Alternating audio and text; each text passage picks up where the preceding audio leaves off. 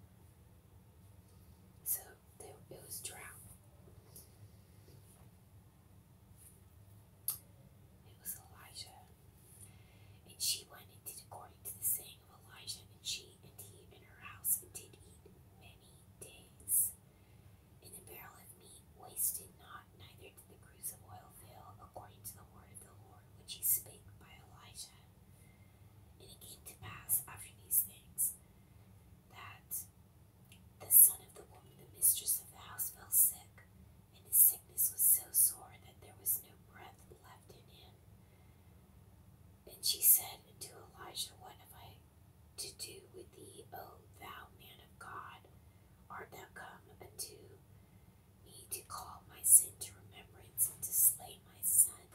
And he said unto her, Give me thy son.